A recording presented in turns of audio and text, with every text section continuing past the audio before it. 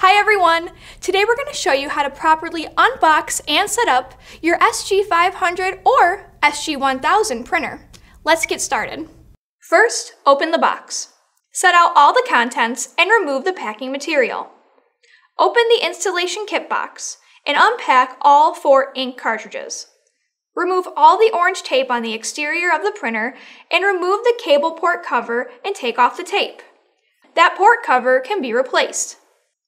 Lift the top cover and remove the tape along with the foam. Do not replace the foam. That foam can be discarded. Next, attach the power cord and plug it into the outlet.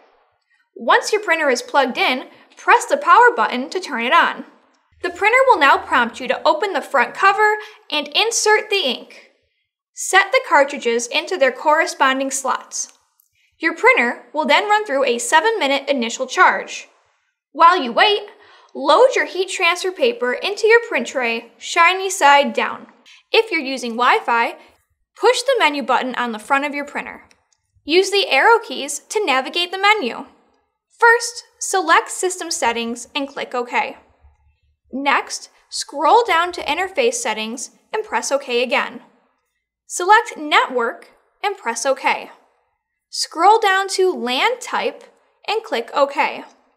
Select Wireless LAN and press OK. Press Cancel. Press Wireless LAN Easy Setup and click OK. Then, go to SSID Auto Search and press OK.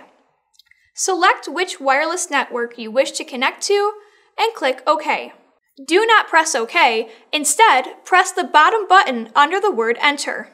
Now, enter your wireless LAN password and click the bottom button under Accept, followed by the bottom button under Exit. Please note, if you want to go back a step at any time, you can press Cancel. If this process does not work for you, there are several other ways to connect to wireless. Please visit our knowledge base at support.sawgrassinc.com to learn more. Now, it's time to download Print Manager. Head to sawgrassinc.com. On the home page, hover on the Get Started tab and click on Print Manager. Download the software and open the file. If you receive a warning about the installer, do not be alarmed. This is a known issue with macOS. Simply right click on the install file, select Open, and then click the Open button to proceed. Follow the prompts on screen.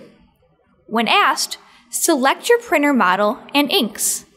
Select whether you would like to connect your printer via USB, Wi-Fi, or Ethernet and follow the directions on your screen. If you are using USB or Ethernet, plug the appropriate cable in when prompted. Once your printer is connected, click Add Printer and choose your printer from your system preferences. Once you're done, click Finish. Your SPM icon will appear in the top of your screen, ready to use. Please note that you will need to sign out and log back into your Creative Studio before you can print from the program. Now your printer is set up and ready to use. If you have any questions, be sure to check out our knowledge base at support.sawgrassinc.com.